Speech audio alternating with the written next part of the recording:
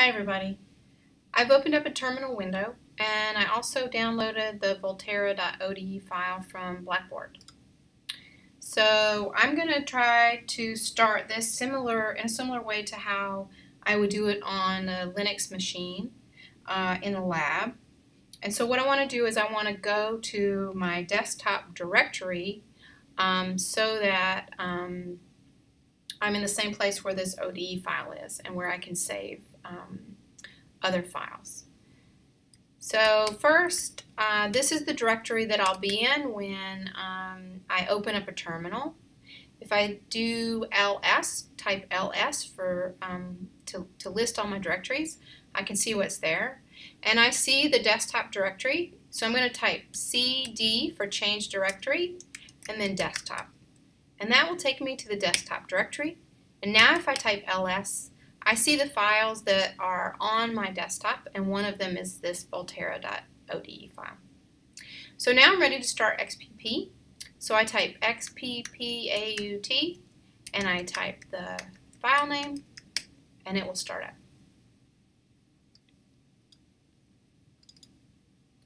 Okay, so this is XPP running the uh, information that's in this ODE file. Now here are some of the things that I showed you in class.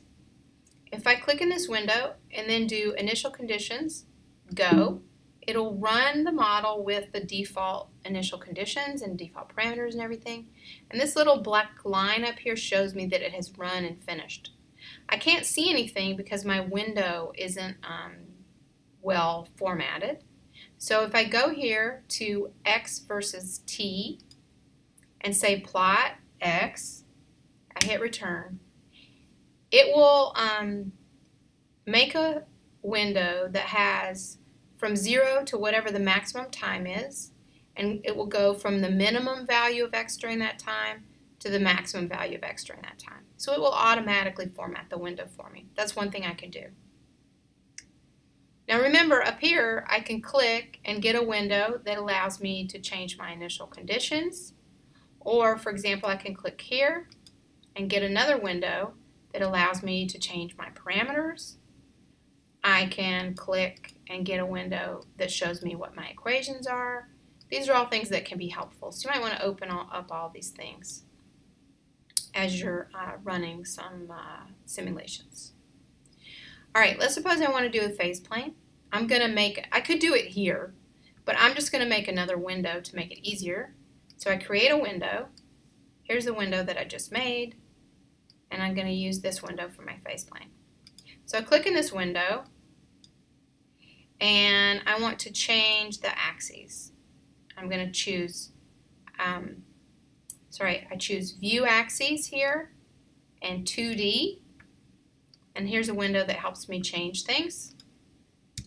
So here's, I'm going to make this my x-axis is the x variable, y-axis is the y variable, I'm going to have it go from minus 1 in x and y, sorry, and y, and uh, the maximum value, it'll go from minus 1 to 20, and y also will go from minus 1 to 20. then my x label is x, my y label is y, I'm all should be set. There we go. And this is showing the last solution that I computed. Um, in the phase plane. All right, if I want to get rid of that before I do my null clines and my steady states and stuff, I can click in this window and then I can say erase, restore. Erase, click on restore. Another way I can do this, I can click in the window, I can type E or R, E or R. And that will um, get rid of or replot the last solution. All right, so here's my phase plane window. Now I go here and I click on null clines. So I have to click in the window first to get access to that window. Then when I click on null clines, I get this new little um, menu. Click on new, it has plotted my null clines. And um, then I want to do my uh, steady states or singular points. So I'm going to click here. Again, click in the window and then click to get that, that singular points. I'm going to use the mouse. So I click on mouse I get this window here that says click on guess. So go to this window, click on it, and then click on the guess. All right, then it says print eigenvalues, yeah. And here are my eigenvalues.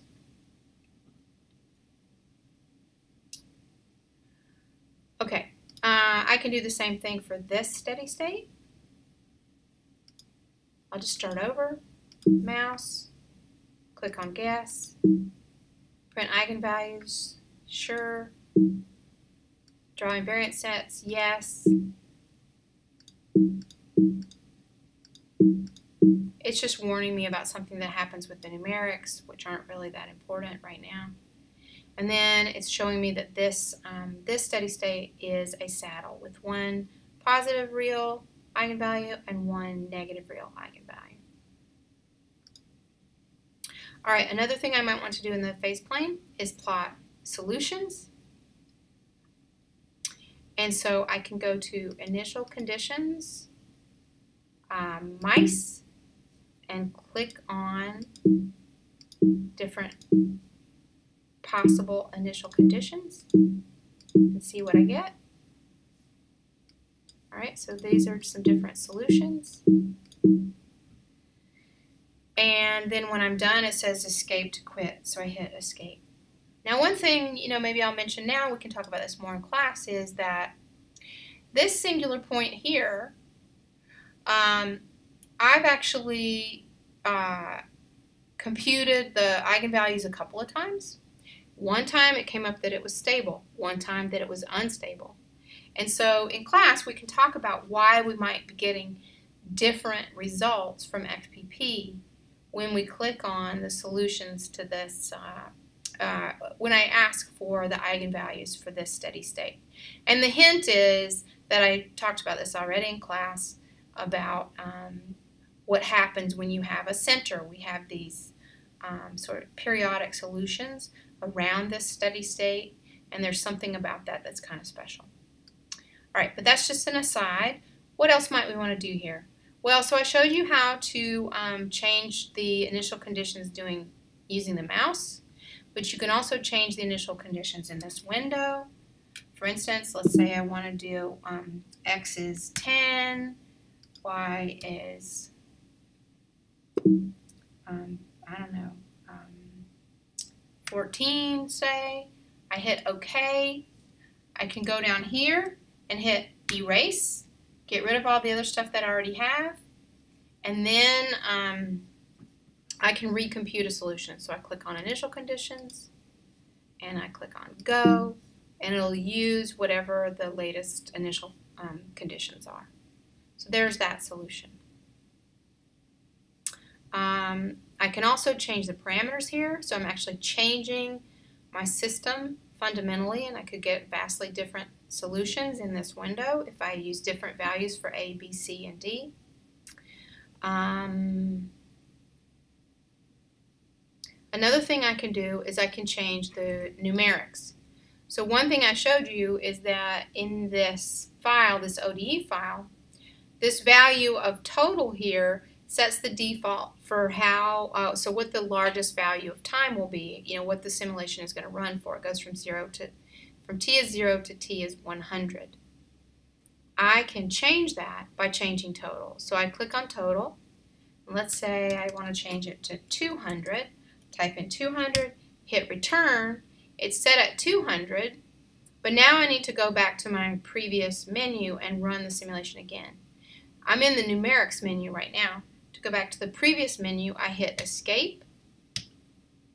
I actually had to hit it twice. And then I um, uh, go back to this menu. And if something comes up that's not what I wanted, I just hit escape again.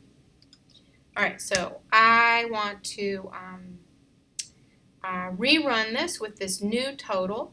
So I go initial conditions, go, it runs it, but it's still only showing from 0 to 100 because it hasn't changed the window. If I go back and do this x versus t again, it will rescale the window to show me all of the time points that I used in my simulation. Okay, that's probably good for now. Um, you know, one last thing is if you um, want to save data that you've generated with this, you can click on the data viewer and you can write the data to a file. Here's this file that showed up. Um, another thing I can do is if I've changed my parameters and you know something cool happened and I don't want to have to write down all those changes, I can um, go to File and then Write Set. Um, and it'll give it the name volterra.ode.set. That's the default. And um, that file will have, here it is over here, that file will have um, the information about the parameters. If you click on it, it's, um, uh, if you look at the text in there, it's not very helpful. But if I start up XPP again, I can go to File, and I can, instead of writing a set, I can read that set, volterra.ode.set, and it will set the parameters and the initial conditions and whatever to whatever was saved in that set. So whatever I changed when I was running this, change the numerics, all of that, it's saved in this set. All right, to, to stop, I say File, Quit, Are you sure? Yes, and I'm all set.